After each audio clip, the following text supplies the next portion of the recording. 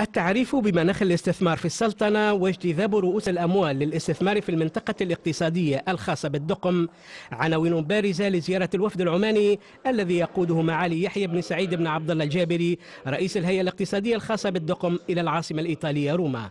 زيارة انطلقت في محطتها الأولى من مقر وزارة الخارجية الإيطالية حيث جرى لقاء موسع بين الوفد العماني ونظيره الإيطالي برئاسة نائب وزير الخارجية والتعاون الدولي بينيديتو ديلا فيدوفا تحدثنا عن عن القطاع السياحي تحدثنا أيضا عن السمكي آه، تحدثنا عن عن عن عن المواني أيضا لأنه هذه مهمة جدا وهم اهتمامات آه، هم كثيرة. تحدثنا أيضا عن النقليات وعن عن ما هو النظام التي سيتم آه، العمل به في في في في في في المنطقة الاقتصادية. تعرف المنطقة الاقتصادية بالدقم مساحتها كبيرة 1745 آه، كيلومتر مربع.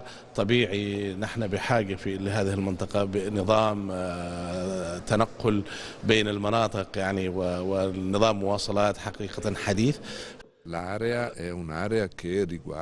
هذه المنطقة الاقتصادية ستوفر فرصة للمستثمرين الإيطاليين في عدة مجالات كالسياحة والتعليم والخدمات بصفة عامة إلى جانب الصناعات الثقيلة التي تهم الشركات الإيطالية الكبيرة منها والصغيرة. استعراض مناخ الاستثمار في السلطنة بشكل عام كان حاضرا بقوة في محادثات ونقاشات الوفد العماني بالمسؤولين الإيطاليين مع التركيز على الفرص الاستثمارية والحوافز والمزايا والإعفاءات الضريبية التي تقدمها هيئة المنطقة الاقتصادية بالدقم للمستثمرين.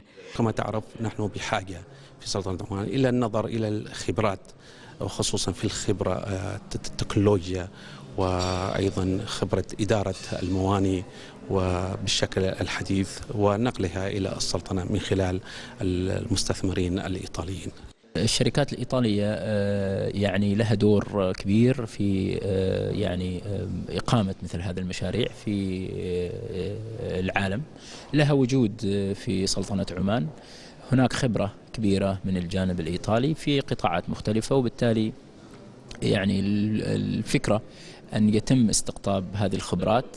تولى الوفد العماني في لقائه بنظيره الإيطالي تقديم أجوبة على عدد من الاستفسارات المتعلقة بالفرص الاستثمارية والحوافز الضريبية وغير الضريبية وأخرى حول نسب التملك الأجنبي في المشروعات التي يتم تنفيذها بالمنطقة الاقتصادية بالدقم.